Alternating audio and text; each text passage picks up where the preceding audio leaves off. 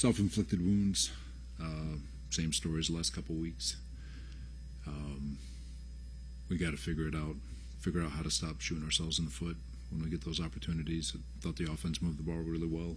Um, had five shots in their territory, came away with four field goals. You're just not going to win a football game. Yeah, I, well, it just um, it's uh, it's what's frustrating is the the different ways that we're creating to uh, not get in the end zone.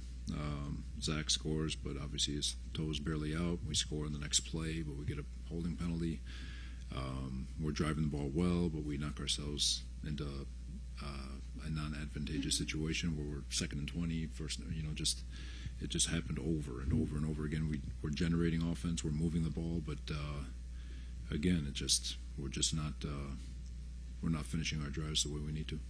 Well, yeah, you know, you play uh, you play great defense. We do have a championship defense. It's not about wasting. It's um, we've got to take advantage of it, obviously, but uh, you know, give give the Raiders credit. They made the plays when they needed to, but um, but we, we've got to find a way to start generating points for sure.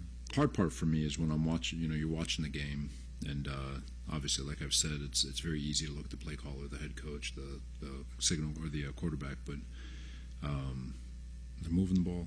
You know, today we moved the ball, and uh, just penalties, penalties at uh, on the O-line, penalties at tight end, penalties at running back, penalty. It's just uh, just dumb, dumb stuff uh, that uh, that we need to get cleaned up. Or it's just never, it's not going to change. But uh, but if we can clean it up and at least give ourselves a chance to play clean football to see what it looks like, um, I still believe it'll look pretty good.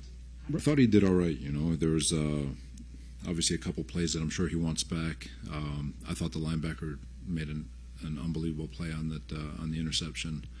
Um, I thought he moved around the pocket well. I thought he picked up some good yards with his legs. Um, we were converting third downs. Um, at I think it was the best rate we have been converting them, and uh, you know to give a full assessment on Zach, I think I think it'd be fair for to, to ask for everyone around him to play a little bit better, but uh, especially with the with the penalties. But overall, I thought he did a decent job.